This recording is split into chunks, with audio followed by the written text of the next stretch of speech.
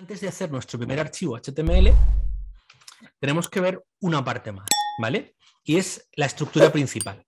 Es decir, dentro de todas estas etiquetas hay algunas que son muy específicas, que son las que nos permiten o le van a permitir al navegador entender que lo que tiene que leer ahí, lo que hay dentro del archivo, es efectivamente un archivo HTML. ¿Vale?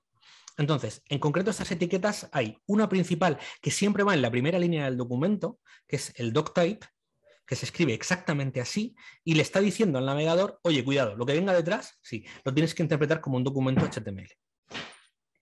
Como HTML en realidad son etiquetas, pero en realidad es un árbol de etiquetas, ¿vale? Es decir, hay una estructura de árbol donde van saliendo de cada nodo quiénes son sus hijos o quiénes son sus hermanos, ¿de acuerdo? Entonces, lo siguiente que hay es el nodo raíz, es decir, de donde cuelga todo el documento, que es la etiqueta HTML, donde normalmente además especificaremos el idioma en el que está el contenido, ¿vale? Y dentro de esto hay dos bloques principales que también van a estar siempre, que son el bloque de cabecera, que tiene información sobre el documento, Vamos a quedarnos con que no es información directa de contenido, sino información sobre el documento, es decir, datos sobre los datos, por tanto, metadatos, ¿vale? Y luego, por otro lado, donde sí que está el contenido en sí de la página, que es lo que estaría dentro del body, el cuerpo del documento o donde está el contenido, ¿de acuerdo? Entonces, basándonos en esto, podríamos generar nuestro primer documento HTML, ¿vale? Así que vamos a ello.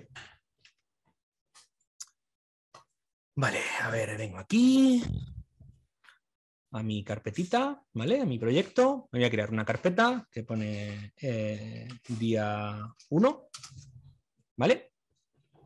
Y dentro de esto, pues me voy a crear un archivo al que voy a llamar eh, index.html. ¿De acuerdo? Vale. Si vemos lo que nos dice la, presentación, ¿vale? Yo aquí tendría que escribir para generar este documento, puedo escribir eh, menor que, interrogante, doctype, espacio HTML, ese sería eh, la especificación del tipo de documento, el contenido que tengo aquí dentro. Luego tendría una etiqueta HTML, veis que me ayuda ya al Visual Studio y me genera también el cierre cuando he hecho la apertura, ¿vale? Y dentro del HTML yo voy a tener dos, dos bloques un bloque principal de cabecera, que es head. Veis que cuando lo escribo él solo cierra. Y voy a tener otro contenido, que es el body, que es donde tengo el cuerpo. ¿Vale? Y aquí, directamente en el cuerpo, pues voy a escribir un texto. Hola, HTML. ¿Vale? Vale, si yo guardo este archivo, me voy a eh, vale. Me abro una, un explorador de archivos, ¿vale? Y lo abro con el navegador, hago doble clic sobre él, pues evidentemente, a ver, aumento la letra, ¿vale?